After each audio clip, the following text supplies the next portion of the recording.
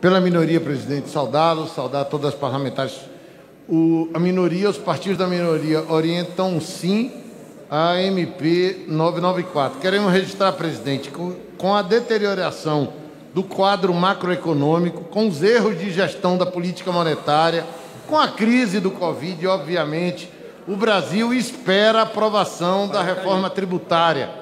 A solução é combinar um texto que tenha a simplificação tributária com o que é mais importante, que é a constitucionalização da progressividade tributária da renda e do patrimônio, em especial a cobrança de lucros e dividendos, a vedação da dedução do juro e capital próprio, a tributação de herança e de patrimônio.